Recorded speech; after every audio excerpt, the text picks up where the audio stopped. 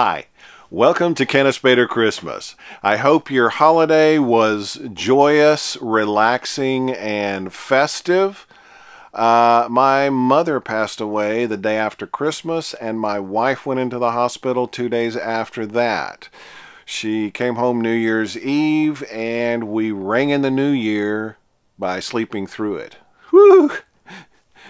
Good times. Plus, it was like 20 degrees outside, and I have no heater in my palatial studio here. Um, so it's been a little dicey here the last couple of weeks. I apologize for the lack of videos this, this so far this year, but I think we can start to get back on track. I get a request to do some sort of consulting for this hobby about once a month or so. Uh, you know, would you be able to get on a call or some sort of virtual presence session uh, to troubleshoot my display or to brainstorm about ideas for my display? Um, the short answer is no. Look, I, I would love to be able to do that, but I just can't devote the time to that right now. Um, I'm doing this video to hopefully help you understand why I can't do that without sounding like an uncaring jerk and to give you resources to get your questions answered. Compared to going to the store and buying some lights, computerized lighting displays have a fairly steep learning curve. Now, some of you I know you'll see something, you'll get it, you'll run with it, no problem. Others will be kicking and screaming all the way to Christmas. The teaching videos that I do are geared toward the basics of getting all this stuff working. You know, what's the minimum equipment that I need uh, to get started? What software do I need? Uh, how do I get pixels? That kind of stuff.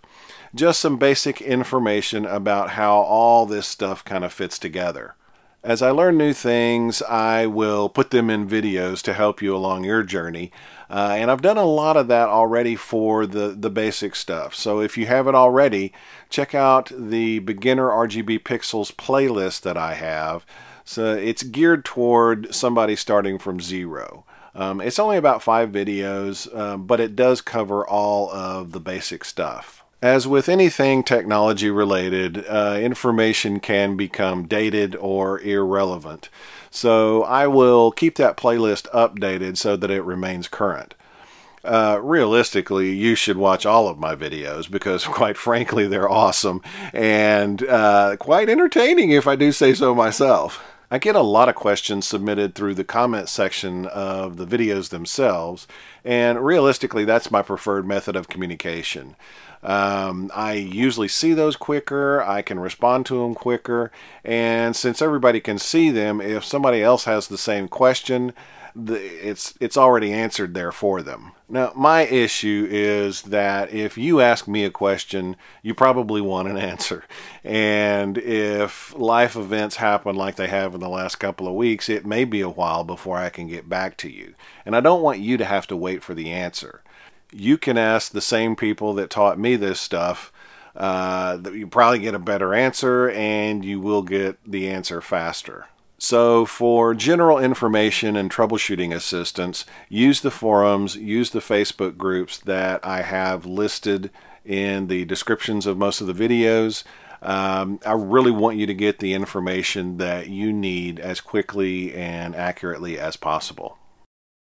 If you have questions like what should I do, here's a picture of my house, how would you decorate it? Realistically, um, pixels look best in a straight line, so uh, verticals and horizontals are the best place to start. Um, you know, door and window outlines, uh, corner house, you know, corners of the house, um, uh, roof lines if you can get to them. Um, but other than that, I'm probably not the best person to ask. There is an xLights Zoom meeting on Wednesday nights that was actually a, a, great place to ask those questions. Just go to xlights.org and look for the Zoom meeting button. There's several nice and very knowledgeable uh, people on that call. They've been doing this stuff for years and they can really help you out in that area. It's instant, interactive information, a very good resource. I attend when I can. Now, am I telling you not to submit questions? Heck no. Um, especially if you've seen something in a video that I didn't cover well enough, I'd be happy to answer uh, those questions. Uh, if I don't know something, I will tell you, and I will try and point you in a direction that you can get the answer. Usually it's going to be the forums and Facebook groups. I don't know everything. I'm just a little bit ahead of some of you. So after all that, if you still feel the desire to send me an email, check the About tab on my channel. Um, I make no service level agreement on emails because generally emails will require a lot of thought in the response and if you've seen any of my videos in the past you know what a chore that can be. So not trying to be a jerk about this, just trying to set some expectations for the new year. I really want you to get the information you're looking for as quickly and as accurately as possible. Recent events have shown that I may not be available at all times, but I think the life events are starting to calm down a bit and I can start publishing videos again regularly. I hope you understand. Thanks for watching and I'll see you again soon.